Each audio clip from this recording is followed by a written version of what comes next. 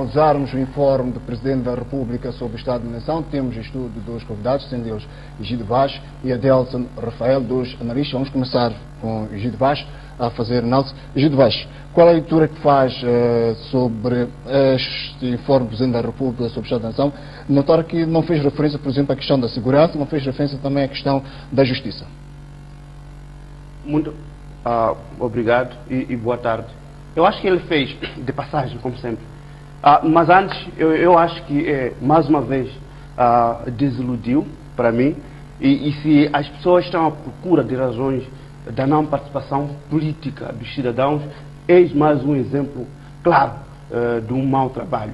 Eu sempre tenho insistido nas últimas semanas que se existe alguém que em 2011 não trabalhou, é o Presidente da República. E aqui está mais um exemplo claro de um informe das atividades uh, Adelson, esse não é um informe sobre o Estado Geral da Nação.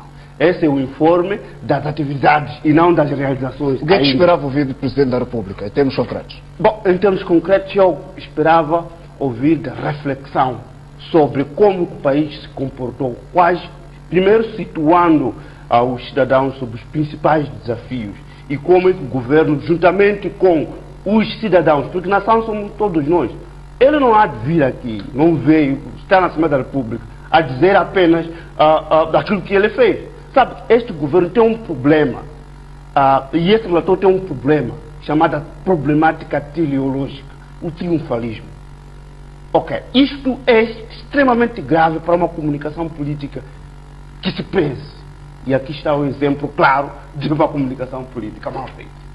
Uh, o que é que espera para os próximos tempos em função daquilo que foi o discurso do Presidente da República?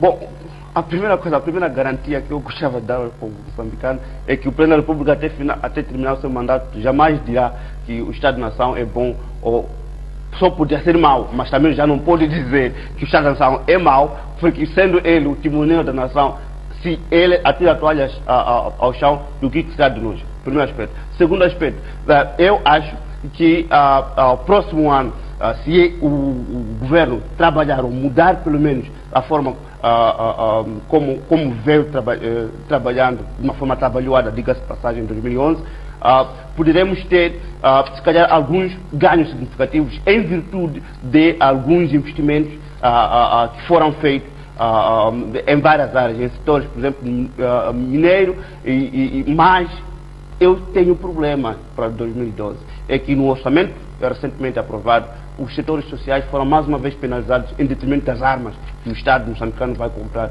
para ainda mais uh, reprimir os direitos de cidadania e os direitos, uh, uh, mais elementares direitos portanto, humanos do povo moçambicano. Este que se diz que é maravilhoso. Givós e Adelson, gostaria de ouvir ainda de vós hum, só mais uma questão.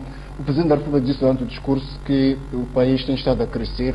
Queria ouvir se, se, qual é a vossa sensibilidade, a sua sensibilidade em relação a este aspecto, quando o Presidente da República diz que o país está a crescer? Bom, aqui há um pouco de brincadeira com os números e com a linguagem econômica. Ah, o país sempre continuará a crescer 7% ou 8%, ah, se calhar mesmo ou 5%, mas este crescimento econômico, até que ele se reflita no bolso ah, das pessoas, será muito difícil para o cidadão comum. Aliás, tem que sempre recordar, aqui, que o Estado Geral da Nação tem que refletir aquilo que, na verdade, são uh, o sentimento geral da nação e não dele, como Presidente da República e dos seus ministros, mas também de todos nós. Pelo que o crescimento uh, pode uh, existir, desde uma, mas se não existir uma redistribuição equitativa, políticas públicas redistributivas que consigam tirar a maioria da população da pobreza em que está, ah, definitivamente continuaremos a enfrentar os mesmos problemas. Antes de terminar, uma coisa muito interessante. O Presidente da República perdeu soberanas oportunidades de ficar calado ou mesmo de não escrever nada. Em relação, por exemplo, às políticas anti-pobreza.